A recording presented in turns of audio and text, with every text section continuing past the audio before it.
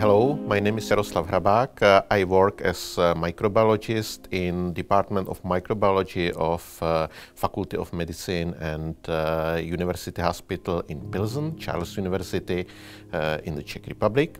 Uh, I also work as manager of Biomedical Center, which is a scientific unit of Faculty of Medicine in Pilsen of Charles University. Uh, since 2005, I work in uh, antibiotic resistance. Uh, in the time, I started with gram-negative bacteria when I studied extended spectrum beta-lactamases and then also carbapenemase.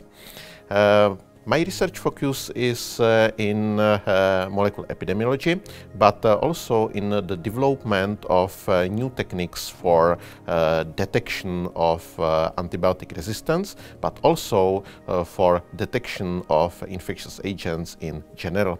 I work in the topic of MALDI-TOF mass spectrometry and also of whole genome sequencing, uh, not only by short reads, but also by long uh, reads.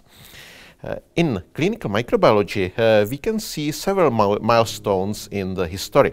Uh, it is uh, cultivation techniques in the beginning of 20th century, then development of serological techniques in 1950s, 1960s, and um, in uh, in uh, 2000, uh, there was a huge introduction of molecular genetic testing, especially of PCR.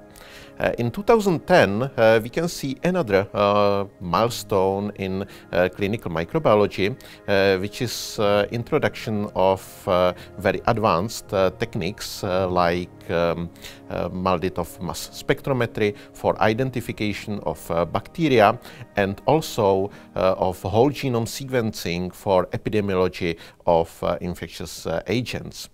Uh, I must say that uh, now uh, the techniques are uh, developing uh, very rapidly and uh, we are living in a very interesting area that I like very much because there is a lot of possibilities for development of new techniques in uh, molecular genetic testing as well as in uh, proteomic uh, methods.